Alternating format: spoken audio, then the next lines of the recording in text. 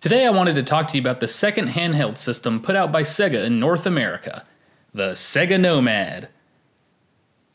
What, you've never heard of the Sega Nomad? Released in 1995, the Nomad was basically a portable Genesis. Less than a year later, it was discontinued and sold at a discount price. So, what was this system and why did it fail? Well, let's take a look. Most people are familiar with the Sega Game Gear, Sega's first handheld console. Released in 1990 in Japan and 1991 in North America and Europe, it was supposed to be the direct competitor to the Game Boy. While it did see some success, it really was no match and only sold about 11 million units, compared to the Game Boy's 118 million. During the mid 90s, there was sort of a lull in handheld gaming.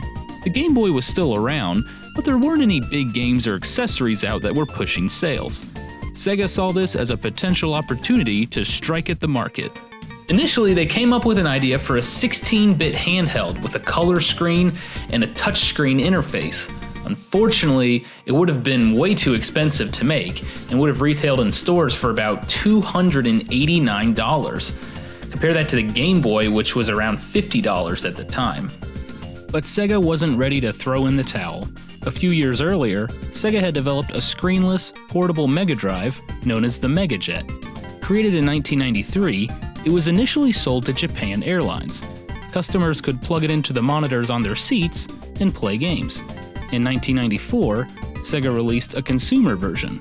Sega decided to take this concept and add a screen to it, thus creating the Sega Nomad, a portable Sega Genesis. It was yet another attempt by the company to extend the life of the Genesis, having already made the Sega CD and the Sega 32X attachments. In a press release, Tom Kalinske, president and CEO of Sega of America, stated Millions of die-hard Genesis fans will now have the convenience of their favorite 16 bit games in the palm of their hands, anytime or any place. It was only released in North America and retailed for $180. Alright, let's take a look at the Nomad. First thing I want to comment on is the actual name of the system. I really like it. The term nomad means a wanderer, or someone who doesn't stay in one place. It's actually a very fitting name for a handheld system. Unfortunately, you'll probably be sitting in one place while playing this thing, but we'll touch on that a little later. The Nomad is pretty big and bulky, so don't think you'll be carrying this around in your pockets. Its build is similar to the Game Gear, but its edges have some different angles that make it stand out.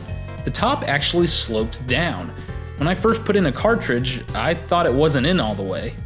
I'll start with the front of the console. You've got a D-pad, a speaker, the screen, and a 6-button controller layout. The D-pad is actually really nice, probably one of the best D-pads I've ever used. Seriously, it's very fluid and comfortable, and I'm honestly surprised more companies don't use this design. The Nomad screen is in full color and backlit. It's very similar to the Game Gear screen, but unfortunately, it's kinda blurry. Finally, you have a 6-button controller built directly into the Nomad. This means you won't have to press start during Street Fighter 2 to switch between punches and kicks. You also have a start button and a mode button. If you hold the mode button down during startup, it will change the controller from a 6 button to a 3 button. Some games, such as Forgotten Worlds, won't work unless you do this. On top of the Nomad, you have the power switch, AC adapter input, cartridge input, and AV out. Yeah, you can hook up the Nomad to your TV, essentially making it a Genesis with the Nomad acting as your controller. It uses the same power adapter and AV cables as the Genesis Model 2. On the bottom, you have a volume slider, headphone jack, a brightness slider for the screen, and even an extra controller port. That's right, you and a friend can play on the Nomad. It'll take any controller the Genesis can, even the arcade stick. The back of the system features grooves where you can place your fingers, and a slot to hook up the battery pack. The Nomad requires six AA batteries to play. You could also purchase a rechargeable battery pack. The Nomad can play all Genesis titles and even some Mega Drive games, as long as they aren't region locked. However, it is not compatible with the Power Base Converter, Sega CD, or the Sega 32X. So overall, I really like the Nomad. It's comfortable to hold, the D-pad feels really good, and being able to hook it up to your TV is a nice feature. It's a Genesis in the palm of your hands, and that's awesome. In total, the Nomad sold about 1 million units and was discontinued in less than a year. So, what happened? The Sega Nomad was released in October of 1995, and by that time, the new 32 bit Sega Saturn was already out. Sega began shifting all of their resources to their new system, and soon production of the Nomad was discontinued. The system was also pretty expensive. The Sega Genesis was only $99. Having the convenience of portability essentially doubled the price to $180. And again, the Game Boy was only $50. And if you thought the Game Gear ate batteries, the Nomad is much worse. You'd be lucky to get 3 hours of playtime on 6 AA batteries. All of these reasons combined doomed the system.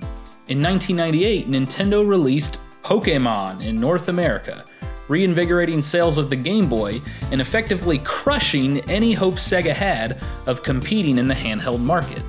By 1999, Toys R Us was selling the Sega Nomad brand new for $40. While the system wasn't successful, it's still a really good handheld console, as long as you don't mind being tied to an electrical outlet. It's a bit of a collector's item these days, going for around $100 on eBay. That's all for this episode of Gaming Historian. Thanks for watching.